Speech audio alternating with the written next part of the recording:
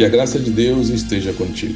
Provérbios capítulo 22 e verso 6 diz: Instrua a criança no caminho em que deve andar, e mesmo em sua velhice não se afastará dele. O Senhor confiou aos pais uma obra solene e sagrada. Eles devem cultivar cuidadosamente o solo do coração de seus filhos. Dessa forma, eles podem ser cooperadores com Deus. Deus espera que os pais guardem e cuidem cuidadosamente o jardim formado pelo coração de seus filhos. Eles devem semear a boa semente e remover toda a erva daninha. É necessário eliminar todo defeito de caráter, pois, se lhes for permitido subsistir, mancharão a beleza do caráter. Pais, seu lar é o primeiro campo em que você é chamado a trabalhar. As belas plantas no jardim de casa requerem seus primeiros cuidados. Você foi designado para vigiar, as almas como aquelas que devem prestar conta. Considere cuidadosamente seu trabalho, sua natureza e sua orientação e seus resultados. Você tem diante de sua porta um pedacinho de terra para cultivar, e Deus o responsabilizará por essa obra que ele confiou às suas mãos. Há uma tendência predominante no mundo de deixar os jovens seguir a inclinação natural de suas próprias mentes.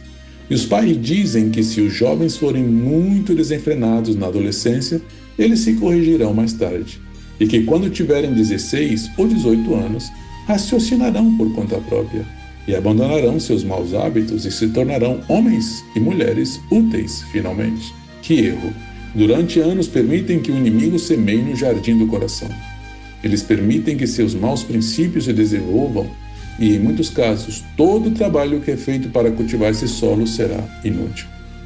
Alguns pais permitiram que seus filhos adquirissem maus hábitos, cujos traços podem ser vistos ao longo de suas vidas. Os pais são responsáveis por este pecado. Tais crianças podem professar ser cristãs, mas sem uma obra especial de graça no coração e uma profunda reforma na vida, seus maus hábitos passados mostrarão em toda a sua experiência e manifestarão precisamente o caráter que seus pais lhes permitiram adquirir.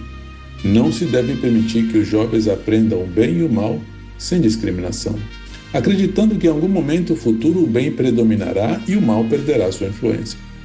Os maus tornar-se-ão mais fortes do que os bons.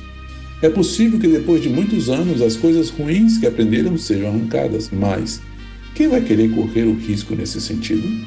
O tempo é curto. É mais fácil e muito mais seguro semear sementes limpas e boas no coração de seus filhos do que arrancar as ervas daninhas mais tarde. É difícil apagar as impressões feitas em mentes jovens. Quão importante, então, que essas impressões estejam corretas, a fim de que as faculdades da juventude possam ser inclinadas na direção correta. Quero fazer uma oração contigo. Senhor Deus, estamos aqui diante da tua presença como pais e mães, entendendo qual é a nossa responsabilidade para com os nossos filhos.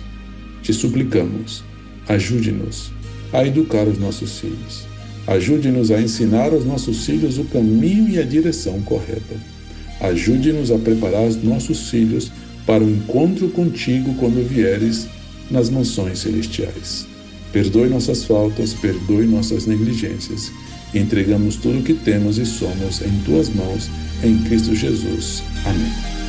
Que o Senhor possa te abençoar.